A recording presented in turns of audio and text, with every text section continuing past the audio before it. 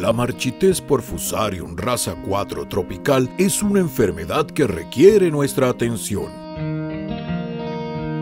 Para la erradicación se debe contar con elementos de protección y bioseguridad. La erradicación se realizará desde el extremo del área delimitada hacia el centro.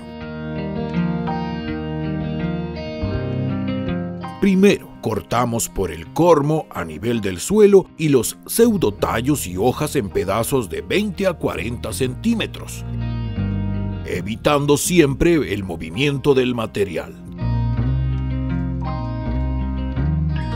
Después, inyectamos el cormo con 5 centímetros de glifosato al 20% con concentración de 480 gramos por litro.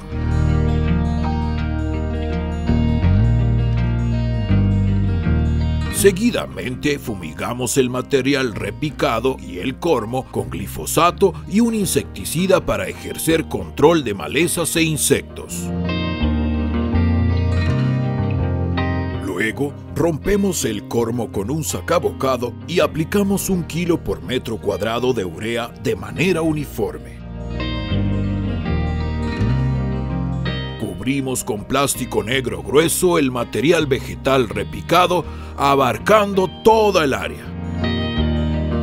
Y construimos una zanja en el perímetro de la zona intervenida. Al terminar la erradicación, rociamos todo con amonio cuaternario. Y descartamos otros elementos en bolsas selladas o incineramos en el sitio. Recuerda, el éxito en la erradicación de un brote está en nuestras manos.